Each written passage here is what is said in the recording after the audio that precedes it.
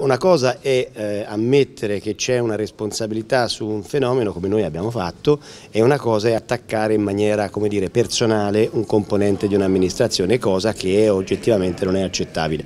E quindi io gli ho fatto senza polemica gli auguri di buon lavoro, ma gli ho detto sulle strade di Arezzo facci lavorare da noi. Questo è il messaggio del sindaco di Arezzo al governatore della regione toscana Enrico Rossi che ieri pomeriggio tramite una nota aveva attaccato l'assessore con delega alla manutenzione e mobilità Gianfrancesco Gamurrini definendo sciocchezze e fake news quanto da lui riportato, ossia il mancato avviso di allerta meteo da parte della regione. A tener banco ovviamente sono ancora i disagi dovuti al ghiaccio sulle strade.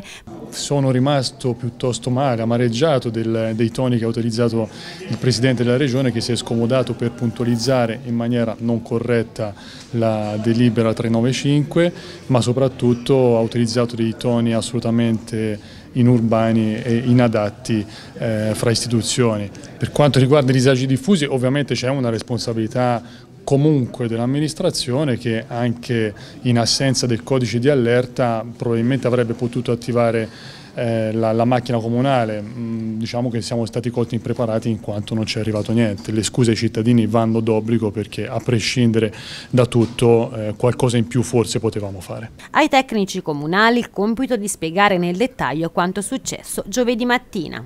Noi eravamo in tranquillità, codice verde, quindi non è previsto nessun eh, fenomeno rilevante. Il bollettino di vigilanza indicava, come fa sempre in caso di temperature sotto lo zero, che potevano esserci locali gelati, ma quando parliamo di locali gelati parliamo di fenomeni puntuali, il, il sovrappasso, la rotatoria, che chiaramente il bollettino regionale non può contemplare. In questo caso invece si sono verificate le non previste precipitazioni nevose diffuse, la conseguenza è stata un eh, ghiaccio diffuso, ma non soltanto ad Arezzo, perché sembra che il problema sia soltanto di Arezzo e non è così, il problema è di molti comuni, è del Casentino, della Val Tiberina e di Arezzo. Una situazione come quella di ieri mattina doveva prevedere un codice giallo, secondo voi, non verde? No, assolutamente un codice giallo, è una situazione diffusa in tutto il territorio. Noi abbiamo 400 km di strade, coprirle tutte è improponibile se non si attiva una, una macchina molto più grossa di quella che può essere solamente quella comunale.